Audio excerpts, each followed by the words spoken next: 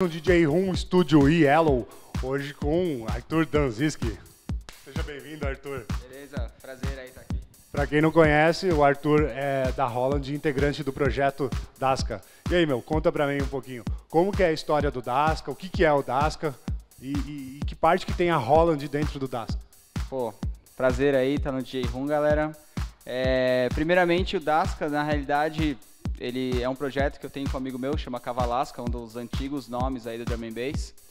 E desde quando eu tive essa parceria forte, né, com a linha Aira, eu chamei ele pra gente fazer alguma coisa junto. A gente tem as influências musicais muito parecidas. Então a gente resolveu usar os produtos Aira para fazer alguma sonzeira aí, e a gente acabou fazendo uma coisa mais no lado do técnico, do UK Garage, né? A gente é puta do dubstep, do drum and bass, é viciado embaixo, né? Não tem jeito. Então, e tamo aí, tocando bar. Já tem uma linha de influência bem. Uma história, na verdade, de vocês dois que formam a dupla. Você falou um pouco dele e você. Veio da onde? Como começou a tua história como DJ e posteriormente produtor?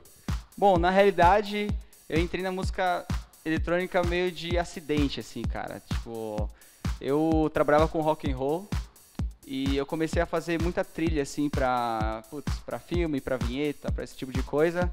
E eu acabei pegando gosto, assim, pela coisa de, da, do sequenciamento e tudo mais. E casou que eu comecei a me interessar muito por música eletrônica nessa época. Aí eu fiz alguns cursos e, enfim, fui me profissionalizando.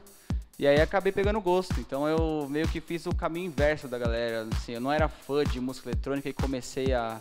Né, eu era fã de outras coisas. Fui, eu fui do não do fã pro técnico, mas eu fui do técnico pro fã, sabe? É uma coisa bem doida, assim. E quanto tempo que você está trabalhando especificamente com música eletrônica? E quanto tempo também tem o Dasca? Ó, na verdade o Dasca é um projeto muito recente, vai, putz, cara, acho que é menos de um ano, assim, a gente está bem recentemente, sim, bem muito recente. E na realidade eu trabalho com música eletrônica, já vai fazer acho que uns dois anos que eu estou aí produzindo. É, o meu nome mesmo é Dazinski, eu já lancei algumas, em algumas labels aí, algumas coisas. É, nada muito profissional ainda. É, e, putz, mas com tecnologia musical em si, com produto, eu trabalho desde os meus 18 anos, assim, já fazem seis anos. É bastante tempo.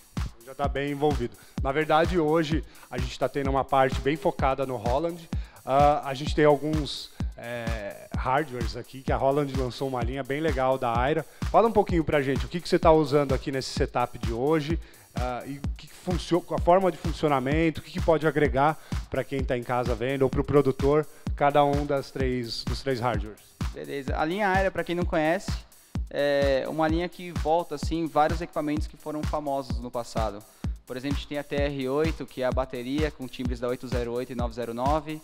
Temos o TB3 com sons do TB303 e, enfim, outros tipos de som. E eu também estou usando um mixer que é dedicado para esse tipo de linha, tem efeitos sequenciáveis, tem bastante coisa legal. Entendi. Bom, é bem bacana, cara. Para quem não conhece, aqui na Yellow tem uma sala especial da Aira. O Arthur sempre está por aqui, já é a segunda ou terceira vez que está aqui para Curitiba só na Yellow. Talvez, talvez seja a quarta, eu acho, cara. É, que... é minha segunda casa. É basicamente isso. Cara, uh, você falou que a influência de vocês veio de drum and bass, UK Garage, que agora está começando a ficar na moda. Para você que está em casa e curtindo, você pode dar uma pesquisada no UK Garage. Ele fez muito sucesso nos anos 90 até o comecinho dos anos 2000 e agora está tendo uma influência lá fora muito forte de UK Garage. Você é a segunda ou terceira pessoa que eu já ouço falando na questão do UK Garage. Ah, e completando a linha de techno. O que você tem de influência de artista e como que você traz todos esses elementos para dentro das suas produções? Bom, na realidade, o garage em si é uma coisa, por mais que seja um estilo clássico assim no Reino Unido, é uma coisa que para mim é muito novo assim.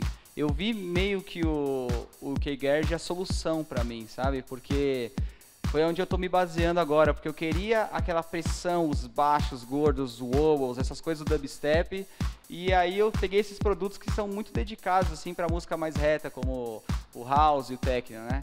Então eu achei esse esse lado, falei assim, putz, é isso, cara, sabe? Então, mas putz, minhas influências vai mais do dubstep do raga, assim, como Rusco, Benga, esses esses nomes assim que eu gosto mais.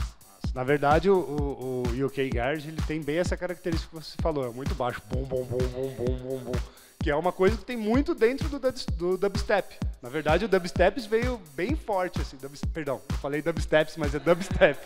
É, o dubstep veio muito forte justamente pela linha de baixo, né, cara? Exatamente, é. Então, maravilha. Eu acho que a Holland trouxe um material bem legal. Eu já tenho acompanhado desde o lançamento aqui. Tem mais equipamentos, mais, mais hardwares da Holland também focados. Você usa isso no teu live? Não, o teu live é basicamente esse aqui. Eu, eu uso sim. É que na verdade eu fiz um formato mais reduzido aqui agora por uma questão que eu estou sozinho, né? Eu tô com Cavalasca. Então eu tenho, eu preparei um projetinho para mim, assim, para e dentro, e dentro do estúdio você usa mais hardware? Como que é a, a sessão que vocês fazem quando tá você e o Cavalasca junto? Cara, a gente está usando 100% praticamente hardware, assim. É, pouca coisa, assim, de repente uma capela, um vocal, coisa de efeito, mas até a própria bateria a gente está usando a TR-8, todos os nossos baixos e a síntese a gente está usando do System One, que também é o sintetizador da Holland. É, é, muito legal porque como esse, o System One tem a, o plugout, né, que traz vários, tipo SH101, SH2, vários synths antigos, a gente gosta muito, né? A gente usa todos esses synths, é o que todo mundo quer, né? Então a gente já tem lá e vai que vai, né?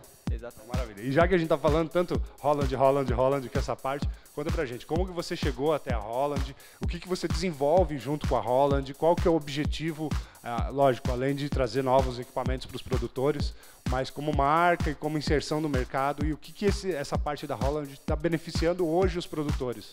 É, na realidade, cara, eu, eu tô assim, dando sangue mesmo assim nessa linha aérea, porque eu tô vendo como uma breve solução, assim, para até arrisco a dizer um pouco de crise que a gente tem hoje na cena, né?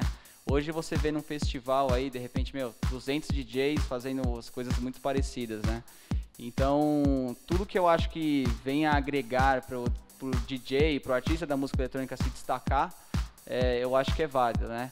Mas então eu, eu tô meio que com essa missão, né? Eu quero usar a linha Aira não só para, enfim, lógico, tem todo o lado comercial e corporativo da coisa, mas para fomentar mesmo a cena, putz, se interessar de repente você DJ, você artista de música eletrônica que pô, tá acostumado com os, com os CDJs e tudo mais, de repente, não tô falando para ninguém sair do CDJ, eu também toco CDJ, mas eu digo, pô, agregar uma bateria eletrônica, agregar um, nem seja que não seja produto da Holland, mas uma coisa, uma, uma coisa diferente de efeito, alguma coisa que você, você vai se destacar, porque você, hoje você chuta o pé na árvore e cai 10 DJ, né? Então, é verdade verdade.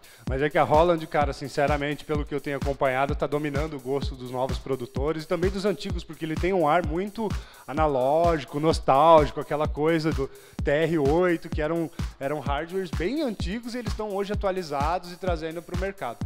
Uh, cara, você que roda o Brasil, tocando ou trabalhando pela Holland, independente, é, o que, você sente de diferença nas pistas de danças do Brasil? Ah, não precisa ser um lugar específico, mas no geral, comparado a Curitiba? Cara, eu vou falar que assim, eu sinto que aqui em Curitiba vocês têm muito mais união. Isso eu, eu realmente sinto assim. Putz, cara, é, é muito prazeroso quando eu venho fazer um workshop aqui, porque é, a gente faz um workshop meu, posta ali três dias antes, a galera vem, sabe? O pessoal gosta de informação, sabe? Em São Paulo eu faço alguns workshops que desanima mesmo, assim, que você fala, pô, estamos aqui tentando fomentar, tentando resolver e, sabe? Então eu sinto que, pelo menos em Curitiba, o pessoal pode ter alguns problemas que, assim, eu não sei, né? Pelo menos vocês me contam e tudo mais, mas que tem alguns mesmos problemas de São Paulo, só que pelo menos a galera se interessa mais, sabe? Se interessa em se aprimorar, em sair do mesmo, sabe, ir para cima mesmo e conquistar as coisas. E daí trabalhando toda essa parte é, de workshop e, e, equipamentos, quais são teus próximos passos agora com a Holland ou como produtor? O que, que vem pela frente? Cara, na realidade, é, o trabalho da Holland está sendo feito. Eu quero agora investir muito nessa na minha carreira artística mesmo, é, principalmente com esse projeto que eu tenho, o Dasca, usando os produtos da Holland. Acho que a gente vai ter um destaque bacana. E de repente aí, quem sabe, um dia arrumar uma agência, uma coisa, começar a rodar o Brasil, a gente tem esse sonho, né? Sempre, né? A gente que é moleque, né? Tem esse sonho. Mas sabe que na verdade as agências hoje em dia ela tem outro papel, que não é mais simplesmente ficar vendendo DJ. Eles querem ganhar o dinheiro com o DJ que já está fácil ali. Então, é, é, é, eu vejo que tem uma ferramenta grande, uma marca boa, grande, e tudo isso agrega. Cara, chega de papo, seja bem-vindo ao DJ Room. O som é seu.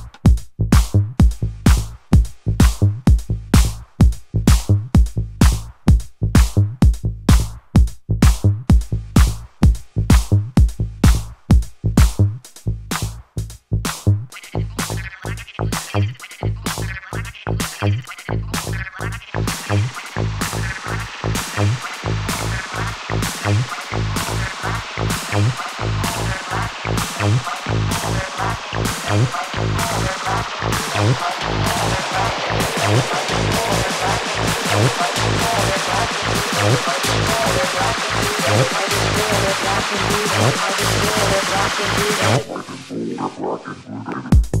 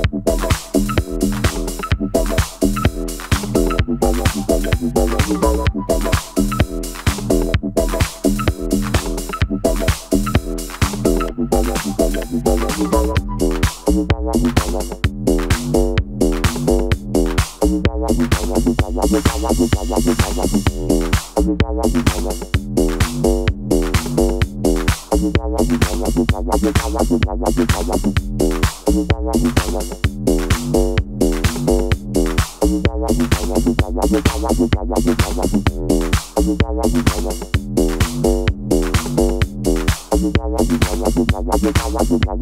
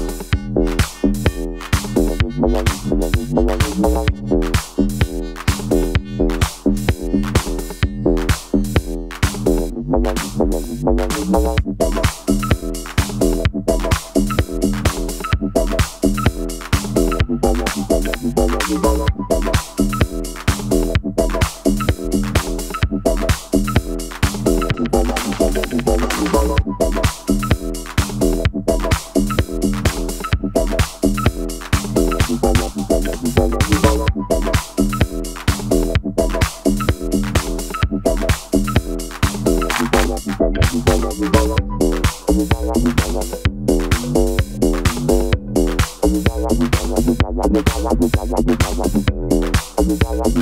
you.